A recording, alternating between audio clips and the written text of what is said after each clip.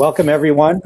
Uh, this is the Business Transformation to Champion Social Change panel. We'll give uh, folks another minute or two to, to join before we start with some brief introductory remarks, and then I turn it over to our distinguished panel of experts. And it looks like people are slowly uh, trickling into the, the session, so that's great.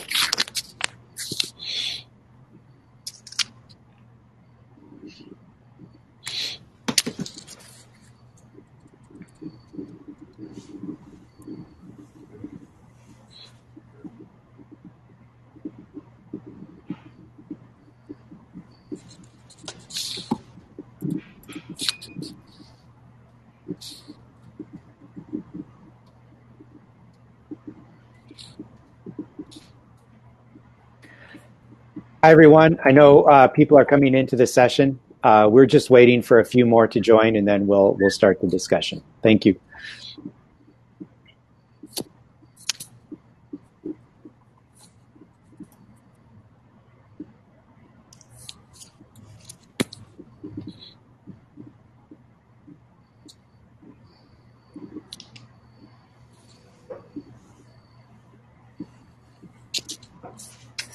We'll go ahead and get started. Again, uh, welcome everyone to the Business Transformation to Champion Social Change panel. This is a, a, panel whose topic is probably more relevant than ever before as businesses uh, work to transform their, their business model, their engagement with the public, how they buy, build, consume goods uh, in a very, very disrupted world. The basis for the conversation is a paper sponsored by Handshake, my firm. We're a uh, social influence agency, and Philip Morris, uh, a global organization with uh, representation here on the panel. Uh, the paper has been written by one of our panelists, Dr. Karan Girotra of Cornell University, and it is titled Business Transformation for Builders, Social Champions in Changing the World. Uh, links to the, the paper, which can be downloaded, are found in the in the chat room and perhaps later in the session, I will share my screen so all those in attendance can can go right to the, the various links to, to download the paper. The paper provides a series of case studies and actionable recommendations for how executives can transform their business, even in the most challenging and disruptive of times. Let me introduce uh, the, the four panelists that are joining me today. First is Karan Girotra of professor of operations, technology, and innovation at Cornell University, based at Cornell Tech. Karan studies technology, business models, innovation, and business transformation. Prior to his work in academia, Karan was the co founder of TerraPass, a venture that's helped thousands of individuals and businesses limit their carbon impact. Second, Aaron Sherinian. Uh, Aaron manages global communications and transformation as the vice president for Philip Morris International. Aaron's unique role places him, excuse me, at the intersection of communications, transformation for one of the largest corporations as, in the world as it makes its historic pivot to a smoke-free future. Third, Christine Harada. Christine is a climate and impact investor. More recently, she was president of IX Investments, a permanently capitalized holding company that invests in the critical areas of human need like climate change, affordable housing, and so on. Previously, she served as the federal chief sustainability officer for the Obama administration.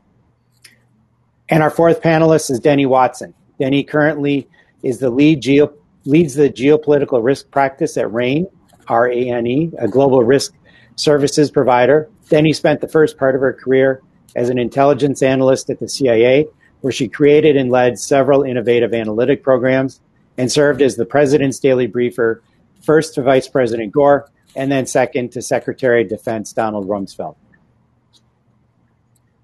I'll now briefly set the discussion about business transformation. And as I'd mentioned, the, the basis for this discussion is the, the paper that Dr. Girotra wrote. And, and what we have seen in you know, the last six months is that the pandemic has laid bare the ability of some organizations to thrive in a time of disruption and uncertainty, while others are barely able to survive and at best maintaining the status quo. Some companies are living up to their lofty visions of acting with purpose and creating value for society. And again, others are at best struggling to, to live up to that. This paper uh, was commissioned by Handshake and Philip Morris International to understand what makes for a successful transformation. And its purpose, again, is to provide insights, recommendations through the use of case studies to help organizations, the leaders of those organizations, steer their way through um, what are often complex transformations in a very challenging time. So, with that, let me ask the, the first question to, to Karan. Um, walk us through the, the research, and in particular, what were some of the important lessons that you uncovered both in the, the research and in talking with the with many of the executives that you interviewed for the paper? Thanks, Robert, and thanks everyone for uh, joining us. Uh, so here is what we did. We examined a number of companies which shared a common circumstance, the following circumstance. All of these companies had uh, thriving, highly profitable businesses. Everything is looking good for these companies. They report uh, great earnings. But there was one catch. The conduct of their business, the way they run their business, their product, their service, or business model was causing some harm to the public commons. What do I mean by the public commons? Perhaps this business was uh, causing harm to the environment. Perhaps it was um, uh, damaging to public health in the middle of a pandemic. Perhaps uh, their product, service, or business model encouraged uh, things that ruined the social life of a society, the civic life of a society. Perhaps uh, inimical to the conduct of uh, fair elections. perhaps the business activities made the market not fair and free. So, in particular, all of these businesses were imposing some sort of externality, a cost on the rest of society. Costs that they did not have to bear uh, themselves, but the rest of us had to bear, and in particular, costs that were not accounted in the financial statements.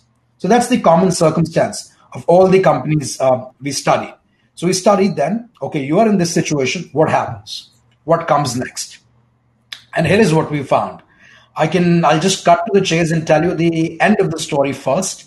Irrespective of which company we studied, it ended up in one of two situations. Either it transformed, or in other cases, the company just died.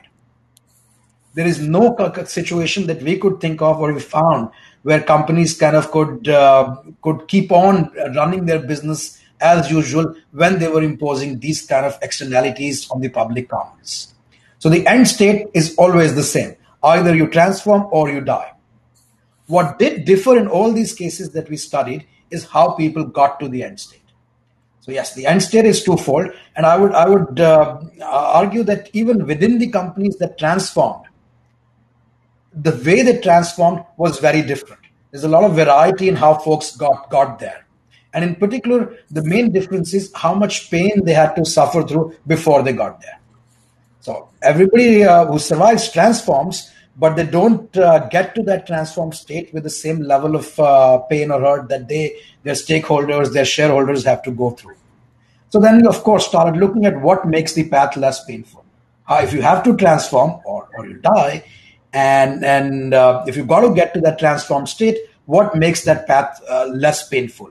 And here are some kind of key patterns we found in terms of what makes this path less painful some from the companies we did, others that we recommend them to do, and some that, uh, and it's a combination of the best practices on top of what we think are, are uh, critical skills to actually make these transformations less painful. Number one was start early. Not surprising, the earlier you start, the easier the transformation is. Even though this almost sounds obvious, but it is perhaps the single biggest change most folks could do. Because people take way too long to recognize what is going on and and uh, or even I, don't even think it's lack of information. In most of the cases it was just not hearing what the world is telling them. Telling them actually is shouting at them. Now it is not just that they were kind of uh, had blinders but it is it is there's a reason behind why folks don't start early and that brings to our second finding of people who do well. It is it is about courage. Starting early is hard because remember the circumstance i described? Everything is looking great at that circumstance. If you're reporting great earnings every year, if you are your business is doing better and better every year, then going out there and saying, "Oh, we're going to kind of burn this down and start something new," is a hard story to sell. So it requires some courage, and we will not recommend go go burn it down. We'll recommend other methods. But irrespective of what you do, it requires a lot of courage to start when things look good. This is not starting or changing when things look bad. This is when things look good. So that's the right time to start, and that requires courage. Now, how do you really kind of sell this to to your board? How do you really um, courage is one thing, but it is courage is best backed by data. And for that, I think what what we uh, uh, strongly recommend, perhaps one of my two favorite recommendations here is to do an externalities audit. In the same way as you do a quarterly or an annual financial audit, companies have started doing environmental audits to some extent. But but I, am proposing a, a larger, full-fledged externalities audit which looks at all different aspects of externalities that you might be uh, doing or imposing on society.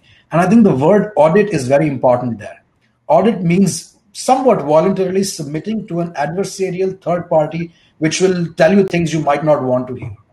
And that's what folks need to do, not kind of hear only their own uh, own propaganda in some sense. And it is shocking how very innovative, successful uh, organizations very soon become echo, chamber, echo chambers. They don't really hear hear things, and which is why you need external audits, audits of externalities conducted by an adversarial third party. Um, and it's better you do it rather than actually have a truly adversarial third party which comes and does it for you when things get really bad. And then my fourth recommendation, and perhaps my other favorite recommendation, is simply experiment. Change doesn't mean burn the house and build a new house it means starting to explore new things in your house. And this is, again, I think uh, I'm always surprised by how the most innovative companies, particularly now in the, in the tech sector, uh, they're almost run like Soviet economies. They're tightly planned central economies. There is a strong leader who has a dogma, who has a philosophy, who has a vision, generally a mythically strong leader, co-founder, founder, and and uh, it's really dogma. There's dogma, there's commandments, there is heresies in, in most of the tech companies, largely because of the strong uh, leader. That we know how, how centrally planned economies end. And, and I think a lot of these uh, companies need to transform from know it all to learn it all, which means you have to let folks break the commandments, start a lot of internal insurgencies. The word I favor the most is, uh, is experiment. You've got to have a lot of experiments running to see what you how you could transform because you won't know the right answer. You've got to do a lot of experiments to get there. And I think um, the final recommendation is uh, it takes persistence. So, despite doing all these right things, it won't kind of happen in a few days or a few quarters. It will require sticking to these principles, even when in the early days things don't don't go well.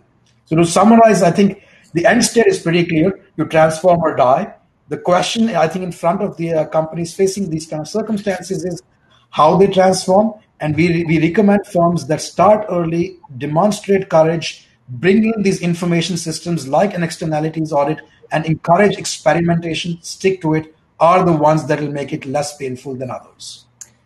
Great. Thank, I mean, thank you for those really wonderful insights. And Aaron, with this very uh, stark and binary outcome in mind of transform or die, I would love to hear your thoughts on this because you are helping lead a, a global corporation through a massive transformation that will impact its future for generations to come. And so you are you're living the insights and the recommendations that Karan just touched on, and would love to hear your perspectives on on the transformation underway at Philip Morris.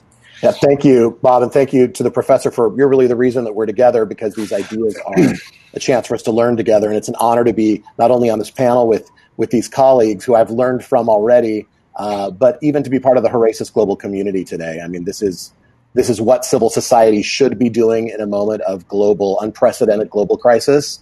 Civil society should be coming in to accelerate uh, how we're talking about change. And the professor's paper, I think the timing, even though I don't think any of us foresaw what was coming to the world in 2020, I'm, I'm grateful that we've got something so that we're learning together.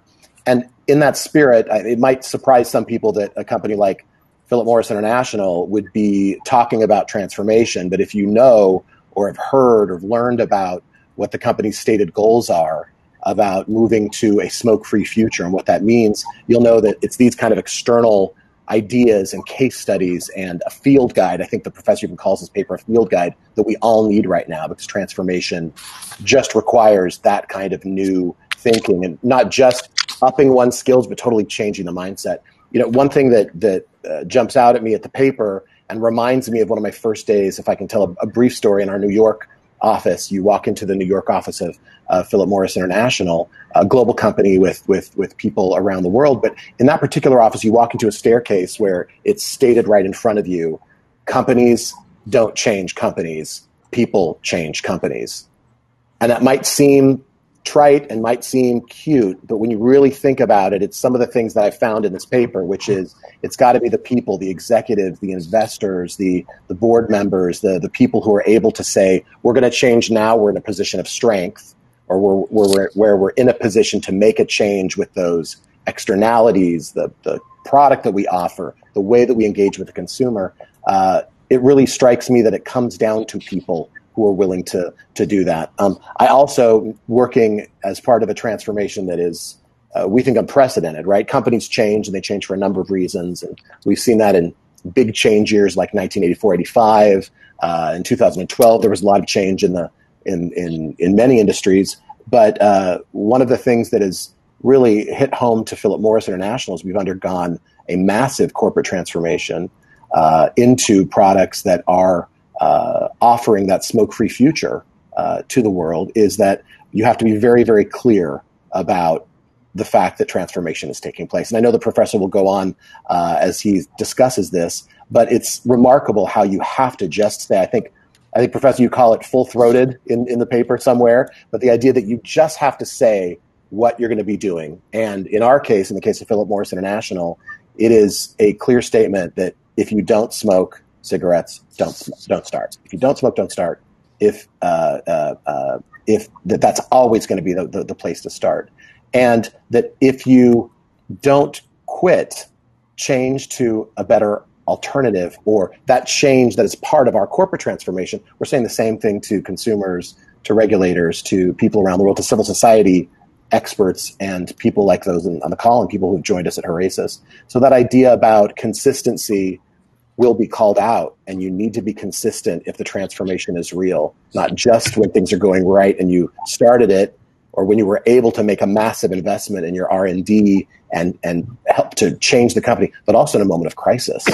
Uh, did your company step back the minute that something like covid hits in its transformation or did you stay the course? So those are a few observations about a why a company like ours would be involved in uh, or interested in, in, in the findings like this and involved in a conversation like this but we believe it is precisely the sorts of companies who have a big role to play on a big issue like uh, the issue of a smoke free future, how to bring that to pass, big issues that are complicated. It's precisely the companies that are transforming that should be learning together from one another and then with the insights of people like, uh, uh, like Karan and, and, and like those that are on the panel today.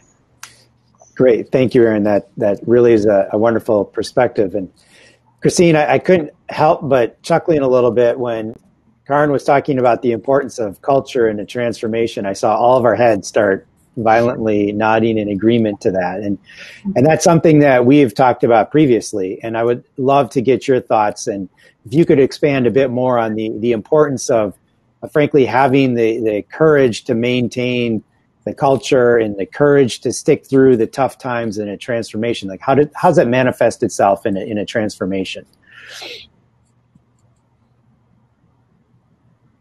I, you're you're we can't can't hear you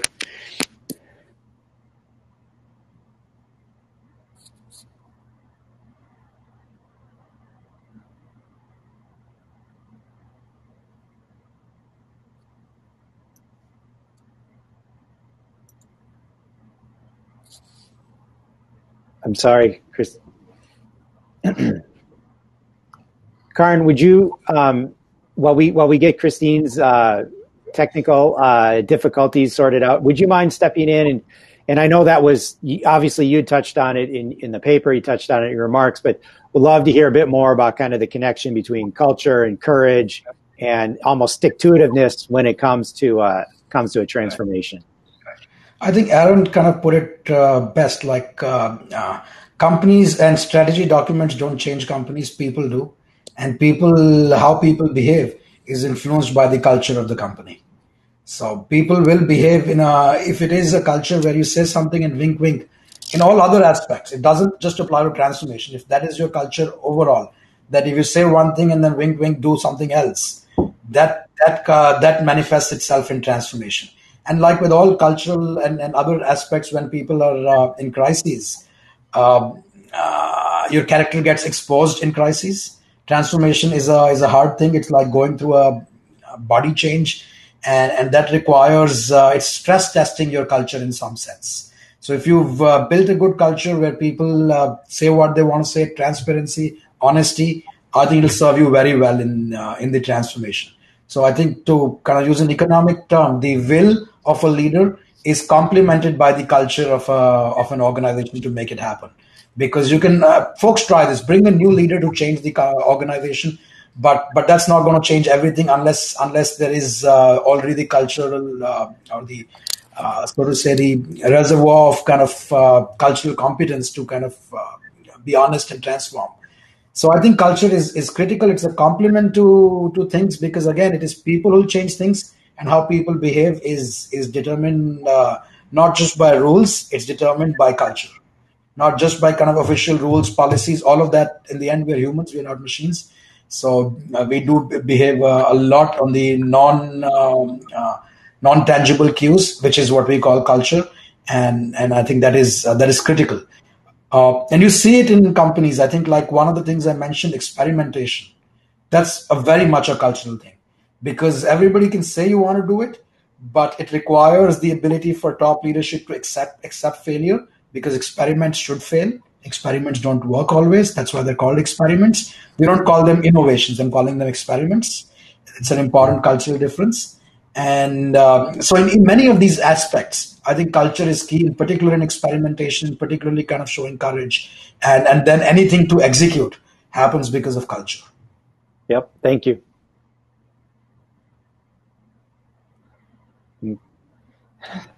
Sorry, Christine. Uh, Danny, let me uh, let me ask you this. So there's there's a there's a number of ways to measure uh, the progress of a transformation. And, and, obviously there's the, you know, kind of the hard numbers, the, you know, profit margin, the market share growth. But as we've heard already, so much of these transformations is about the, frankly, the soft measures, the culture, employee attitudes, things like that. How do you, how do you collect the data? How do you analyze the data? How do you, how do you actually measure the data for your transformation to see whether or not you're on the right journey and making the progress you want to make. Thanks, Bob. Um, can you hear me? Yep, we can. Thank you. Okay, just checking. Uh, so, first, I'm going to start with a bit of an adage. The data you have at hand is almost never the data that you need. And trying to lead a transformation forward based on existing data, which is almost always uh, lagging indicators, won't get you where you need to go. So, and second, I'd say that no data at hand is going to tell you either that you need to transform, how to transform, or what that transformation should be. So, a true trans- transformation is about vision, it's about imagination, and to the point that Christine was going to, to emphasize, Uh, uh, true, and that, that Karan emphasized earlier, truly courageous leadership. But in order to get there, first, leaders have to be paying attention to the horizon. So they have to be looking beyond the data they have, looking beyond the quarterly statistics. They need to think creatively about what things will look like in 10, 15, or 20 years. Because the environment in which their business is operating is not going to be the same as the environment they're operating now. It's not a data question. It's not an AI problem. It's it's uniquely human, and it takes uniquely human leadership to to get there. Uh, and finally, leaders have to be willing through this transformation to break some china and face the consequences of having winners and losers. so, how do you measure progress in a transformation? So, the first step is to ask the right questions. While employee engagement is a fine metric for an established organization doing established practices, it might not be the right indicator for a company undergoing a transformation. Maybe you don't have people with the right skills. Maybe you need to make a corporate culture change. Um, so, measuring your existing employees for engagement might not be the most the best leading indicator. Uh, you have to measure uh, different things. And an organization undergoing a transformation, maybe the right metric is how well you're doing at hiring differently skilled people or hiring people who are representative of the diverse culture in which they are operating. Likewise, with things like customer loyalty, which is an, a very established and well known uh, measure, in an organization that is transforming to meet new demands, new needs, new market re- realities, maybe the question is not how do I maintain my existing customers, but rather how well am I doing in building relationships with customers and partners that are going to matter to me more in the future. So, uh, so. Uh, um, I wanted to go back to something that, that Karan had had mentioned. So, given how challenging it can be to measure progress in a transformative uh, organization, what's your advice for how executives can have the confidence to know that they either need to stay the course in their transformation or if they need to make some course adjustments? I think you provided some great suggestions. These new leading metrics. So if you come up with the right metrics, for example, I think I really like uh, new customers. If you are moving, or in case of uh, case of the examples Aaron said, it really isn't perhaps new customers because they're trying to encourage not new customers, but customers who are shifting from one one prospect to another. So maybe not a traditional metric, but a different metric that captures where you're uh, uh going. The only thing I'll add to this is uh, increasingly we have access to non-traditional metrics. We have access to sources that uh, we have access to data streams folks didn't have before. So in a in a um, uh, work with a particular uh, large organization which was sourcing products globally, and and the big challenge in sourcing products globally is ensuring that those products, the factories which are making these products are are forming are, are living up to your values as a as a company. And uh, the classic mode was well we'll do audits etc and, and we all know those are they work but not perfectly and, and they have had lots of even in the best funded companies like apple and others who are uh, who are not kind of cost sensitive companies in many ways or not kind of really trying to squeeze every dollar out. Even there it's hard so so uh, just in this uh, research project all we did was we started kind of uh, getting access to employee forums and these are uh, forums in not generally in English, in languages that people don't kind of, um, uh, not languages the markets folks are selling in, WeChat. Look at what employees are telling each other about how a company is. And, and that, to be honest, was a far, far more leading indicator. Just informal places, and given kind of uh, new technology, you can sentiment analyses these forums. You can actually, uh, so that's kind of our uh, hypothesis that even without, uh, it's a research project, so, uh, but our hypothesis and early indications are that if you uh, play the data game, you might be able to get some non-traditional streams. Uh, people have also tried like Twitter streams, and and it is basically I think the central idea is the word on the street is often ahead of the word on the paper. So, and I think you can get that word on the street today by by different means, means that were not possible before, blog posts and others. So that's so I will in, in the spirit of what you said, new metrics uh, more different metrics, non-traditional metrics to what because to to um, uh, metrics which are aligned with your transformation goals. And I think the second thing I'll add is you can also get access to new uh, uh, new data streams which folks might have not thought about, and those data streams might be now leading indicators. And I think you have to give importance to get them because, of course, you have your uh, financial data streams. The sales show up every day but it is uh, these streams also need to show up uh, with some frequency with equal importance need to show up in the ceo's dashboard or other places uh, like that so that's that's kind of all i'll add so good metrics plus new streams yeah i you know when i when i hear you know words and phrases like data and metrics and key performance indicators i my mind immediately goes to the concept of transparency right i mean this data can't just live in, in isolation somewhere and a lot of times it's people tracking data for their own use, but obviously more and more the, the public has access to all kinds of data. And, you know, Aaron, to the to the credit of, of PMI, it's un, it's undertaken this incredibly complex and massive transformation in a way that's been very, very transparent. Obviously, PMI has to, you know, as a publicly traded company, has all kinds of disclosures it, it needs to, to file. And, but you know, you, the executive team, your your executive colleagues, you're you're out and about. I mean, you're you're participating in conversations like this, talking about the transformation, talking about what you've learned, the struggles you've you've faced. Why that commitment?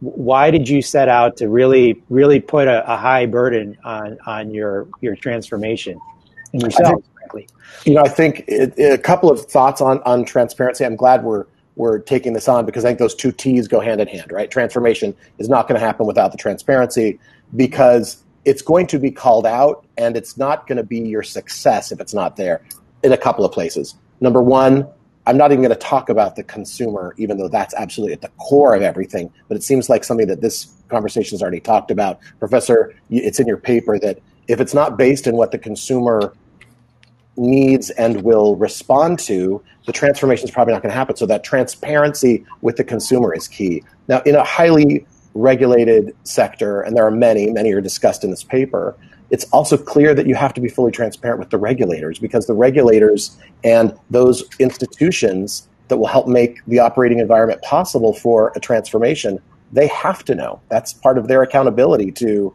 their uh, to the institutions that they serve. And so transparency is it's almost a, it's almost a given. I don't want to mean to minimize it when i say that. It's a given that has to be maintained at all times. So we're not just talking about internal information. We're talking about making that same information, the good, the bad, the must improve, available on in public ways. And, and we have that in, in, in the basics of the internet. If you have an integrated report or data, you absolutely positively have to have that available front and center on your website, not buried somewhere where no one can find it, because it's going to be found. It should be found and people should be discussing what to do with it. Now, there's a, a let me talk about a communications aspect with civil society about transparency. And Bob, you know, you may have been even uh, in the same city when when we did this, but we've tried to be present in places where opinion leaders, thought leaders, smart people that we can learn from are, are, are present. And in one particular place, most recently, we even put out onto our sign in, in, in one of these spaces, uh, recognizing that if you have a trust deficit, transparency over time has to be something that is there. It's tr- not transparency in a moment and then things are fine. Transparency over time is a way to increase trust. But we actually put outside, uh, facing uh, the entrance for all people to see, doubters welcome. And that idea, I know it's a cultural thing, but it's about having people and inviting people to bring in the data, talking to us so that we can present science and we can openly present scientific data so that there can be a discussion around it that's civil and that's not politicized and charged. These are these are important issues and, and, and issues. Uh, sustainable development goals are issues that are are are passionate, right? Because it's about the future of the world. But how can we have conversations that are open and absolutely based on data and transparency from both sides? So I, I think often about that idea about doubters welcome and who who responded to that and who brought data with them to talk about uh, because I think that kind of transparency, uh, you can feel it from a cultural perspective from your executives all the way to the, the consumer. Our CEO and I, um, you know, I, I love what we've now put on on part of the PMI's website under transformation. And the first thing he will answer when people say, "Why are you doing this?" Uh, he will say, "Because it's the right thing to do." And then all of the answers that feed into the business model, the economics, the fact that uh, you know in 2018, 92 percent of PMI's research and development was focused on on these potentially better products and how that could be manifest and how you have to say that publicly and show that so that you're transparent with not just the rhetoric, not just the culture and the approach, but also let's let's face it, your company and your product is going to follow where your investments go. And so being transparent with that, I think, is hopefully a way to, to build that long term trust. If I can add just a, a very briefly, um, you know, I would add, uh, in addition to courage and transparency, uh, the ch- whatever the transformation is it has to be organic. It has to be genuine. So to to the, the point that that the communication is essential it's essential internally for your workforce as well as externally for your stakeholders and your customers. But it has to be you, you have to be convincing compelling and genuine about uh, about that transformation. It can't come out of nowhere uh, uh um, or that, your neither your customers nor your stakeholders nor your employees is going to buy the change. So uh, that doubters welcome, I love that. Uh, um, it, it, says we're confident in what we're doing, why we're doing it. We know, and, and it comes from a genuine place. Um, I, I, think it, in the research when Karan found uh, companies that did were not successful, it may be that it wasn't from a genuine place. They were changing for the point of changing, or they were ch- changing only because of external pressures. It wasn't a genuine um, organic change. Yeah. If I may add, like transparency is also uh, sometimes people will say, let's be transparent internally but not externally. I think that doesn't work because, uh, uh, and this is the hard part about, uh, if I may say, lying or misrepresenting. If you do it outside, your employees see that as a way to do it inside. So that's, I think, what we find kind of most uh, uh, that if you create a hollow image on the outside, it actually means a hollow hollow organization on the inside also. It's impossible to do it impossible to do it in two different ways. So uh, whatever you do out to the external world flows in internally, and, and in some sense the chickens come home to roost. So uh, the the managers who might encourage that find the same thing happening within their teams, and therefore I think um, as as uh, as was said earlier, really uh, transparency and consistently transparent is is great, and of course doubters welcome. I think is uh, is a great phase in, uh, in, in given the context where you are. And I think a lot of companies end up in this situation that, um, and we can look at recent examples, some tech companies, social media companies. At this point, I think they need to go doubters welcome if they want to do anything to change, because well past the time that uh, uh, that they could have gotten ahead of it. So, so I think that is that is one message I would I would really echo again. That uh, if you're at the point that that it is uh, at the point some substantial doubt, then you got to take it head on. You got to take it head on and um, and address those doubts. Yeah, let me, if I could interject, because we had a, a really good question from the audience that uh, picks up on some of the comments that have been made, which is, you know, earlier, Karan, you'd mentioned that you know transformations are quite binary, you know, transform or die. PMI, obviously, Aaron is going through an exceedingly transformative transformation is it possible to transform incrementally or are transformations truly at the kind of the organ, organizational scale that PMI is undertaking? So I think I should clarify. I didn't mean uh, the uh, transform now fully or you'll die today. I said the endpoint is binary. It is not necessarily that the um, uh, so the endpoint is binary. That in the end, eventually, so eventually, I think uh, in the long run you transform or you die when you're in one of those situations. Now, how do you get to that? That path is not a one day path. In fact, like I was saying, you don't want to burn the house down because that's neither sensible or, or you won't even have the money to transform that. So I think it is it is very much about uh, experimentation. So the path to transformation comes by I think I'll, I'll use somewhat stark analogies. It is about letting internal insurgencies rise in your organization, about letting people internally challenge the dogma and do different things than what you do normally. So I think it is very uh, uh, the path is is uh, in fact uh, it's not revolution. I would I would say the end outcome is the same and is is this binary outcome, but the path is definitely uh, uh, I don't like using the word incremental because in matter of courage, in matter of thinking, it is not incremental, but in in ways of how you put things out there, you got to put like like like in the case of PMI, you can't tomorrow say let's change everything. You need to invest in uh, R&D to make that happen. This is not the case in so uh, uh, to determine the path and what. so number one, you need to experiment in the path and try many things. What you need to experiment also depends on where the source of the externality is coming from. Sometimes it's a product characteristic, like in, in PMI. In that case, you have to do R&D to develop a better product. In some places, it's just the company's uh, uh, value system or something like that that I think is is comes the change comes there. And then I think in most cases, like in the tech industry and other places, it might be the business model. If uh, uh, Facebook's business model is something that encourages a certain kind of uh, discourse on the on the website, and therefore um, you need to experiment with different models. So I think the short answer is it is never uh, it is indeed not incremental but experimental. You kind of uh, it's a learning path. The endpoints are binary and and what you need to experiment on the pace how how quickly you can change things depends on a little bit on what is holding you back. If it's product, it's determined by the R&D. You can't move faster than, than the new products are going to be invented. If it's business model, you kind of need to make the uh, make the business model work, a new business model. If it's cultural, it takes time. If it is simply kind of uh, so so, uh, the pace depends a little bit on what what is holding you back or what's the root cause. Uh, uh, but but it is uh, it should be as fast as it. Can. It's a transformation, not a revolution. Okay. It's not burned out the house. It is change yeah. the house.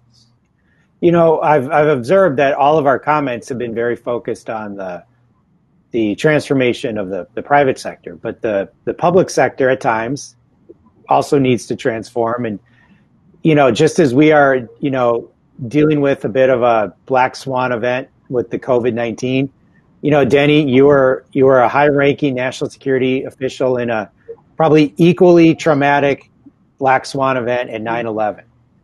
Um, and, and working with the absolute highest people in government. How, how did you see? And obviously, the government had to, U.S. government in particular, had to transform at that time. What did you What did you see in that transformation? What did you see those leaders do in that era? Yeah, well, I would say that um, after post 9 11, the transformation that took place, at least in the intelligence community, was a little bit of a combination of what we've been talking about. So, um, there was after 9-11 there was a movement from inside of the organization from the leadership all the way down to the lowest level employee that said hey we missed this and and we need to change in order to get it right it was also one of those places where there were certain uh, um, chronic issues uh, that the intelligence community had figured out how to work around but had never really addressed um, so there was a piece of the the, the transformer parish um, where we were headed towards the parish point. Um, and so there was change that was imposed upon us from uh, externally. And I would say that uh, for uh, the the ethic and the ethos of the intelligence community, those changes that were internally driven, that came from um, the the experienced leadership, from the rank and file analyst or case officer or or um, support officer or whoever, those changes that were internally generated, um, they were effective, they were lasting, they were transformational. I would say that the um, changes that were uh, imposed on us externally, there was a new law that created a new structure. Um, those took much longer uh, to have any impact. Um, and, you know, even what is it, 20 years later, I'm not sure that those external laws have have taken hold the way their their crafters and drafters hoped they would, um, because they were crafted from uh, they were uh, outside of the organization by people who didn't have the benefit of understanding the core culture, the core practices, and the unique uh, uh issues that that surrounded why the intelligence community operated the way that it did. Um, so that that it's an interesting hybrid between transformation that was internally driven as well as externally driven, um, and it's uh, they're still working it out. All right, so we have just over a minute left. Aaron, you're the one here, eyeball deep in a complex transformation in a in a very very disrupted world. Give us give us one lesson that all of us should take to heart from what you've learned doing leading you know, transformation. From what I've from what I've learned today, and again, thank you, Professor. Thanks to our to our colleagues. There's more conversation, especially with Christine, that will be had, and we will facilitate all of that. But one thing that I've heard is that this experimentation has got to be about learning all across the organization, and that it can't be we've got it right. Professor, you said it earlier this is an innovation here and it's done. It's about that journey. I, I, I, can spend so much time in the paper learning from these case studies and examples about how that journey depends on someone who can say, I, the CEO, want to learn more about how to get it done. I'm going to talk to the consumer and the regulator. I'm going to be active in civil society. And I'm going to be open about the fact that the externalities are part of what brought us here, and addressing them is going to be part of how we transform in the future. So that's just my takeaway. I, I would have stayed and learned from this group all day, but I really appreciate the chance to be here. Bob, thanks for bringing us together. And, my and, pleasure. This was a wonderful conversation. I really hope we can we can reconstitute it in another venue, brought to us by Zoom, right? Thanks, everybody. Thank you. Thank you. Thanks, everybody. Thanks again. Bye bye.